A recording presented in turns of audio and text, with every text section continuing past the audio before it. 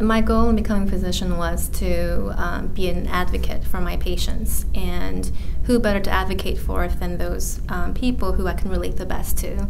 I want to be a voice for them. I want to be able to take care of them to the best of my ability, and it was a field that um, suited me the best.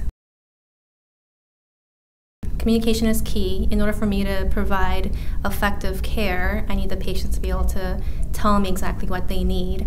Um, there are no stupid questions, so they should be able to ask me anything they want want to, and for me to provide them uh, what they need.